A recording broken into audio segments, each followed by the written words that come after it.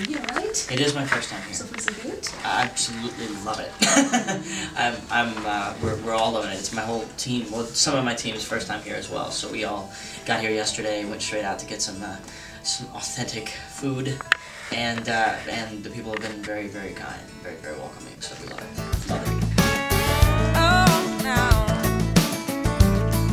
To get off the plane and be welcomed by fans, first time I come here, it's pretty amazing. And, and uh, yeah. With her windblown hair. It just wasn't fair the way she was blowing my mind.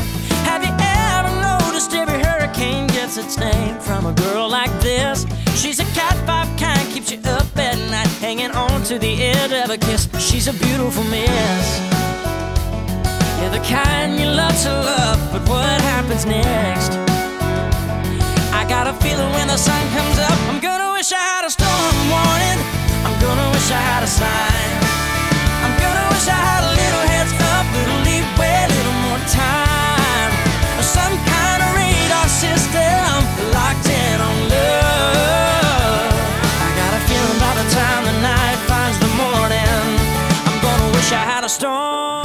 country music is a genre um, that just speaks to speaks directly to the heart. There's nothing in between. It's all about uh, music, lyrics coming together, either telling a story or uh, just uh, having a personal conversation.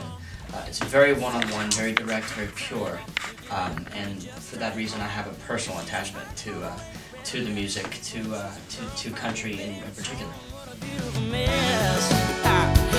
Part angel, one part perfect, one part brick.